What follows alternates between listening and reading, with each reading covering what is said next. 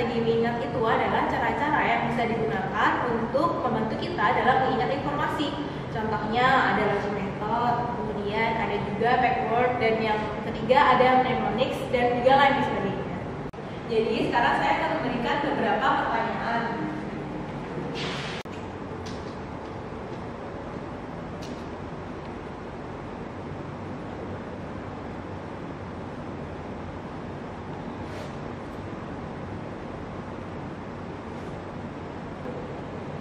Apakah ada yang bisa menjawab soal-soal di sini? Saya Bu. Mbak Asdas itu tolong dicatat namanya ya.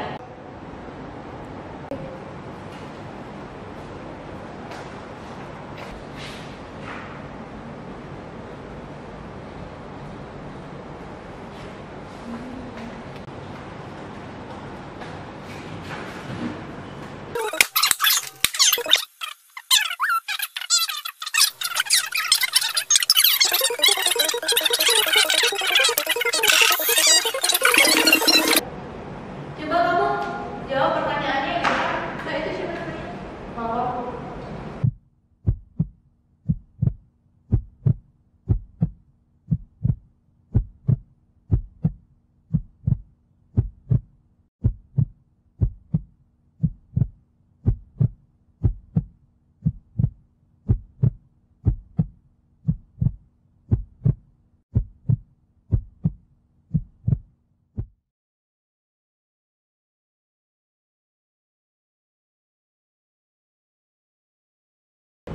Gimana kamu yakin ini benar? Benar. Gimana teman-teman? Benar nggak jawabannya Mawar? Enggak. Tuh, teman-teman kamu aja bilang ini salah. Masa kamu yakin? Makanya kamu tuh belajar kayak mati. Cara yang dilakukan tenaga pengajar tersebut kuranglah tepat. Sebenarnya, bagaimana cara memotivasi siswa agar lebih rajin belajar? Praising student merupakan salah satu cara yang tepat untuk memotivasi siswa agar lebih rajin belajar. Cara lain untuk membuat siswa termotivasi yaitu dengan cara meningkatkan antusiasme tenaga pengajar, membuat aktivitas yang bervariasi, memberikan tugas-tugas yang menarik, dan memberi pujian pada siswa tersebut.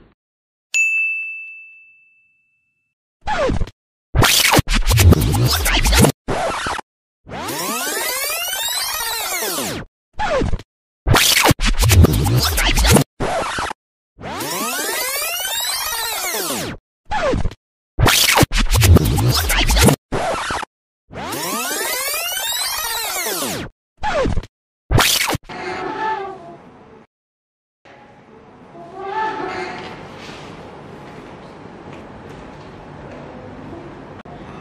kita sudah belajar tentang strategi mengingat. Ada yang masih ingat nggak apa itu strategi mengingat? Jadi strategi mengingat itu adalah cara-cara yang bisa digunakan untuk membantu kita dalam mengingat informasi. Contohnya ada logic method, kemudian ada juga backward, dan yang ketiga ada mnemonics dan juga lain sebagainya. Jadi sekarang saya akan memberikan beberapa pertanyaan.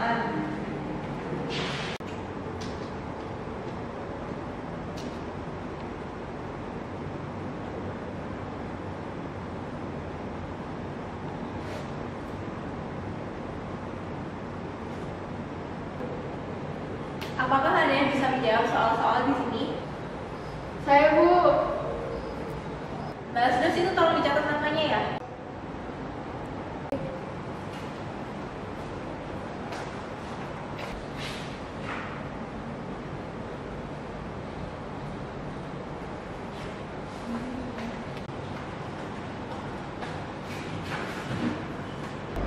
Nah, tadi kan Melati udah jawab. Yuk sekarang coba Mawar coba jawab soal yang ada di